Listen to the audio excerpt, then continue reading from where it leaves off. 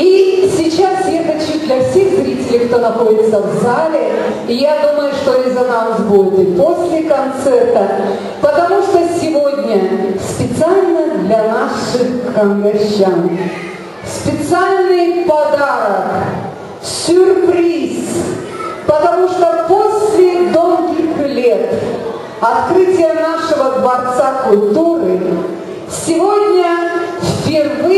на сцене выступит танцевальный коллектив Дворца культуры села Кангас. Вы знаете, мы долго думали, как назвать этот танцевальный коллектив. Ведь от того, как назовешь корабль, так он и поплывет. Много мы перелопатили и пришли вот к следующему, что новый танцевальный коллектив, он детский коллектив, решили назвать гагаузским красивым названием цветка «Опенджик».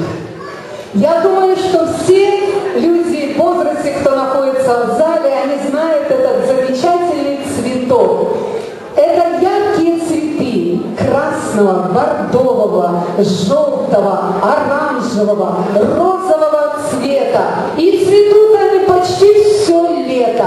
А в комплексе составляют замечательный букет. Вот такие же эти дети, которые участвуют в этом танцевальном коллективе. Все они разные, но все они влюблены в танцы. И все они очень талантливые. Итак, Кангас, трепещите